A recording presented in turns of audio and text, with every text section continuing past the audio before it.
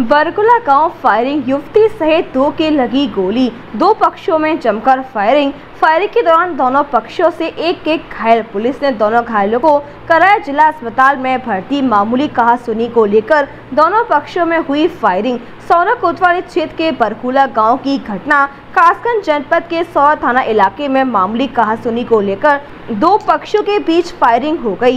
इस ताबड़तोड़ फायरिंग में एक युवती सहित दो लोग घायल हो गए। पुलिस ने दोनों पक्षों से हुए घायलों को उपचार के लिए कासगंज जिला अस्पताल में भर्ती कराया है, जहाँ दोनों को प्राथमिक उपचार के बाद अलीगढ़ मेडिकल कॉलेज को रेफर किया गया है। घटना आज मंगलवार की दोपहर को सौरभ कोतवाली क्षेत्र के बरकुला गाँव की है, जहाँ शव प्रसाद और सूबेदार की किसी बात को लेकर नोकझोंक हो गई थी। बाद में दोनों पक्ष आमने सामने आ गए और फायरिंग शुरू हो गई।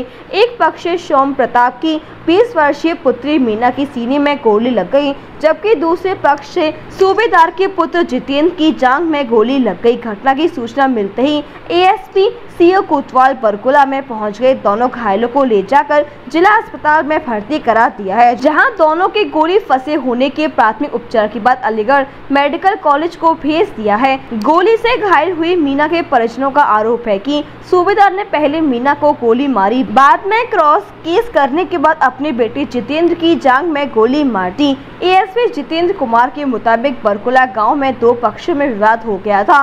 बाद में दोनों पक्ष आमने सामने आगे और फायरिंग करने लगे। एक ओर से युवती के गोली लगी है दूसरी ओर से एक युवक को गोली लगने से घायल हुआ है। दोनों घायलों को उपचार के लिए भेजकर आगामी कार्रवाई की जा रही है। जल्द ही आरोपियों को गिरफ़्तार कर लिया जाएगा। क्या मामला है सर? गाँव बरकुला थाना क्षेत्र सोरू में आज सुमेर और रवि के बीच में किसी बात को लेकर के आपस में कहा सुनी झगड़ा हो रहा था। यह झगड़ा थोड़ा सा इन लोगों में आपस में ज़्यादा बढ़ा। इसके दौरान आ, इन लोग के दोनों पक्ष आपस में आमने सामने आए हैं और एक दूसरे के उसमें उनका विवाद बढ़ता गया है। विवाद के दौरान फायरिंग हुई है। फायरिंग में दो लोगों को चोटें बताई जा रही हैं। मजदूरों को इलाज के लिए सदर हॉस्पिटल रवाना किया गया। बेहतर इलाज उनका जारी है। और यहाँ पर हम जो इसमें संलिप्त लोग हैं उनकी तलाश करके आवश्यक विधिक कार्रवाई करेंगे।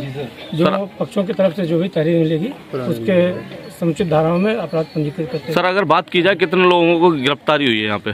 अभी इस पर हम गाँव में ही हैं।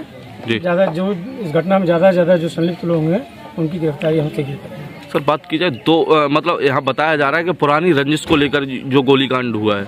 उसके बारे में भी हम तहकीकात कर रहे हैं।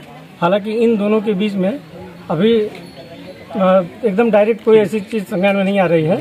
अगर उस पर हम उसकी जाँच करेंगे और उसके बाद भी उसका भी संज्ञान लेते हो जो फैक्ट होंगे आपको उनसे भी में लड़ाई हो रही है और ये लड़की अपने लेटरिन करने जा रही है और इसके गोली मारी सूबेदार ने और जब इस लड़की के गोली, जब उनमें लड़ाई चल रही है तो इस लड़की के गोली लगी सूबेदार की। तो इन लोगों को जब पता लगा है तो आम जनता मौके पर है। लेकिन फिर इन्होंने केस दल बदल करने की वजह से स्वयं सूबेदार ने गोली मारी अपने लड़के के।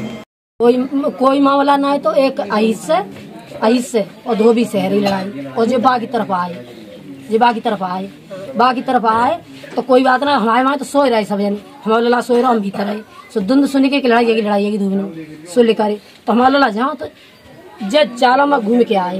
तो आ वो सड़ी के कितने हो? जो पहले हमसे ने है है चुकी जो धोबी के पीछे। तो हमारे लला पकड़वाई दी। हमारे लला। तो लला हमारे छूटे आए दे लेके।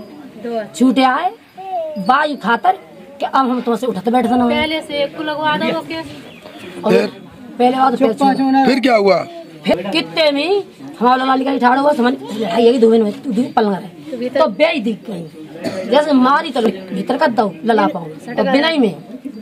भरी गई। और बच्चे हम गए जब हम बिना के बराबर में है जो छोरी जाऊई तो उसके भी तो गोली लगी है उसके बाने कुआ तो ठाड़े के मारी लड़का। जो केस बना तो कितने राउंड गोली चली थी? कितने फायर हुए थे? चार पाँच फायर करे। तो काफ़ी भाई। अब चाहे चार करे हो चाहे पाँच करे भैया मुझे इतने पता इतने तीन तो यहाँ वधु वेडिंग प्लाजा, जो आपके लिए लाया है बेहतरीन डिज़ाइन के कलेक्शन। जहाँ आपको मिलेंगे डिज़ाइनर लहंगे, साड़ियाँ एंड वेस्टर्न आउटफिट्स जैसे पार्टी वेयर साड़ियाँ एंड ड्रेसेस कोलकाता की मशहूर डिज़ाइनर साड़ियाँ, बनारस की मशहूर बनारसी साड़ियाँ अब आपके लिए मथुरा में ही उपलब्ध है।